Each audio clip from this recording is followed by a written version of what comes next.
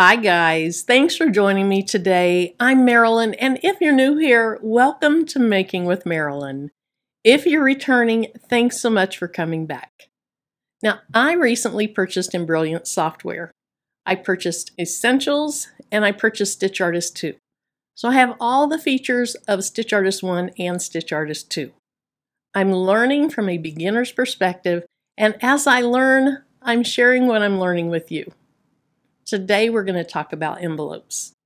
Have you ever heard of an envelope when it comes to digitizing software or embroidery software? I'm going to show you today where you can download some envelopes to use in your Embrilliance software, and I'm also going to teach you how to make your own envelopes. If this is something you're interested in, stick around. Let's talk about it. An envelope is a nice little feature that you can use to have your letters take on the shape of an object. Notice how the letters follow the curve of the oval, and these letters follow the shape of the heart. That's what an envelope helps you do. You can see that they would be useful for patches, but they're really useful for so much more. In Embrilliance, if you have a Stitch Artist, you can make your own envelopes. I'm going to show you how you can do that in just a little bit, but let's start with the basics of envelopes. If you don't want to learn how to make an envelope, you can use some that Embrilliance has already made for us.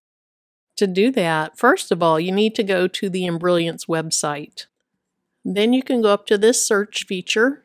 You can click inside there and just type the word envelope. That brought up some different articles, and this is the one that I want right here. So I'm going to say read more.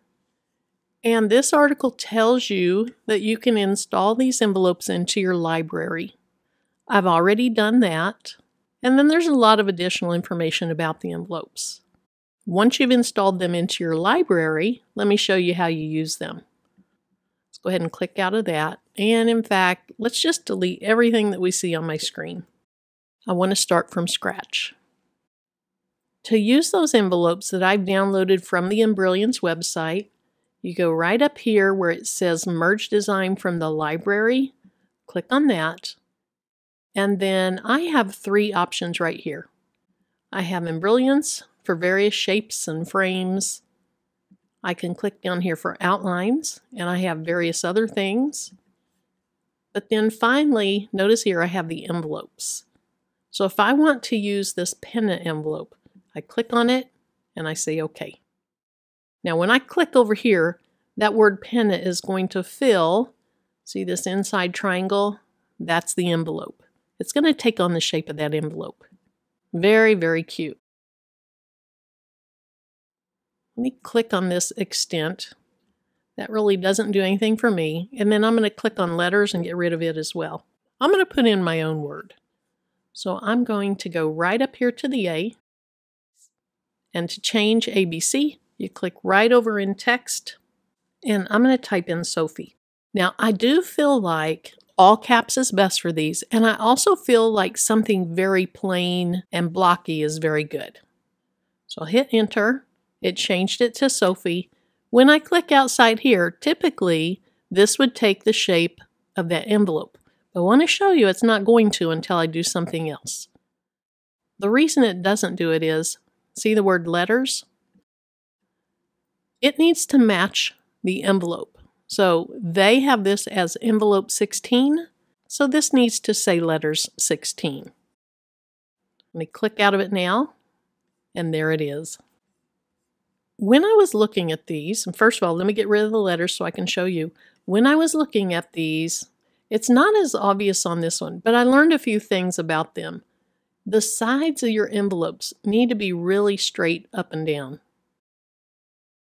You also have to start the first point of your envelope, and that'll make sense in a minute, in the top left-hand area of where you want your envelope.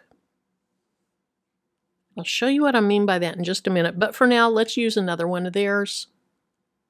I'm going to go up to Merge Designs from Library, and this time let's do this bridge up. Actually, let's do falling banner. I'll click on it. I'll say OK. And it is envelope 2. So whatever letters I put have to say letters 2. If you want to, you can just use their layer And let's retype this to Sophie. I'll hit enter.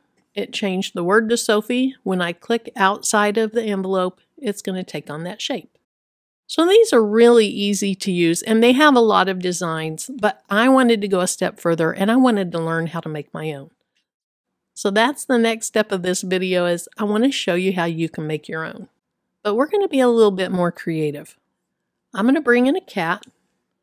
This is a cat that I downloaded from Creative Fabrica. Let me click on the cat and change the height of the cat. Let's just go to 5 inches. Now right now this is just a line. There's no stitches associated with it whatsoever. To make your envelope, you're going to go up to Create. You're going to go over to Draw with Points. And then I'm just going to follow the shape of where I want my envelope, where I want my letters. Remember I said earlier that you put your first point in the top left area of where you want your envelope. And so I'm just going to start right here all I'm doing is clicking on my mouse. So we're going to add a point. We're going to add a point. With this next point, it's going to actually turn this into a curve. It just does it automatically when you're following a curve. So I click there. I'm going to keep clicking, keep clicking, keep clicking. Let's go a little bit further. Let's go right here. Now, to get a straight line, I'm holding the command down, coming down here to where I want my next point to be. With command held down, I go ahead and click. Now I let up command and I just start drawing back around my shape. I'm going to follow this leg. I don't want it to be too boring. I want it to be cute. And one thing I'm just now noticing is I'm very close to this. So let's go ahead and click here hold the command down so I get a straight line, and I go all the way up to almost where that green point is. I get my crosshairs centered under the green point. With the command still held down, I click. Now this needs to be closed in, and to do that, you go right up here to what looks like an apple or a tomato and click on that. And that's my envelope. Now remember I was too close to that leg, so let's go ahead and just drag it over a tiny bit. The next step is go ahead and change this to the word envelope. It has to say envelope there. Doesn't matter if it's capital letters, small letters. Now let's add Sophie into the cat. So I click up here on the letter A and I'm going to back over that and in all caps I'm typing Sophie. All right, once I click outside Sophie is going to take the shape of my envelope. Now let's go ahead and put some stitches on the cat. Maybe I want to make an applique out of this. So I click on the cat, click on create, and then we're going to go right over here to the applique stitch. We'll click on that, and then that gives me some options over here. I have different border stitches that I can use, but I definitely prefer the satin one. I can also change my stitch width. And I have a full video on how to do applique step by step, so if you're interested in that, check out the video description and I'll have a link to it down there. Now I like to do a satin stitch, especially on a larger item like this, at a pretty big size because it's more forgiving when you cut away your excess fabric. Now I spent the next few minutes of the video going off on a tangent on how to change thread colors in Embrilliance. Since I want to stay focused on envelopes in this video, I deleted that section. If you want to know how to change the thread colors in Embrilliance, that's included in the applique video that I have linked in the description under this video. With that being said, let's move on. Now there's a little bit about Sophie I don't like. Look how the O goes down too far. To fix that, you click on envelope. So you're fixing your letters or the shape of your letters by going to the envelope. So we're going to click on envelope.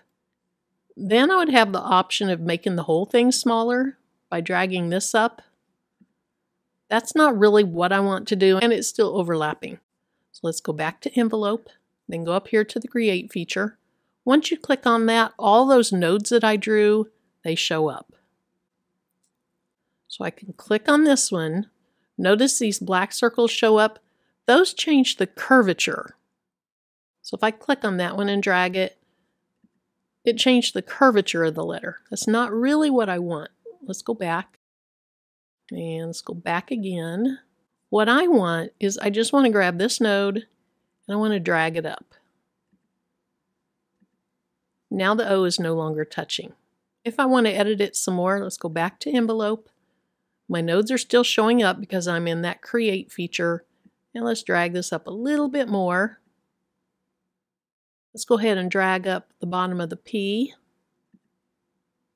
And let's just drag this one up to be consistent with those two. So here's what it looks like so far. Now I think I'm ready. Whoops, let me click off of that. Go back to envelope. Now I think I'm ready to just make the whole thing smaller or shorter. And I think that looks pretty good. Now to get rid of the envelope, I'm not actually getting rid of the envelope, I'm just getting rid of you seeing the envelope.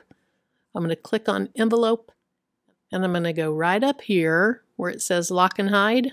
I'll click that and when I click back over here, it's gone. If I decide that I still need to make some changes to my envelope, then I'm going to click on the envelope layer, unlock it, and it shows right back up.